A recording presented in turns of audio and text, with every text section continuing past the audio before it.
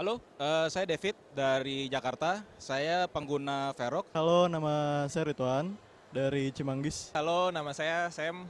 Nama saya Alfa.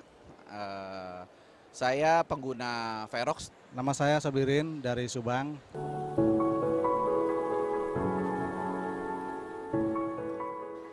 Untuk harga ada barang, ada kualitas. Kalau menurut saya harga yang kita keluarkan sebanding dengan eh, performa yang kita dapat serta penghematan untuk eh, jangka panjang.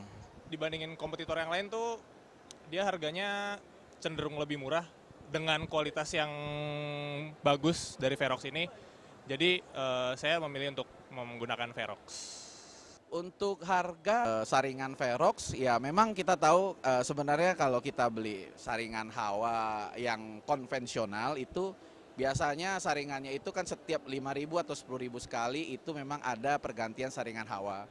Memang ya kita lihat ah, dari apa dari awalnya itu memang lebih mahal, tapi untuk jangka panjang ke depannya itu kalau dihitung-hitung itu menjadi lebih murah. Harga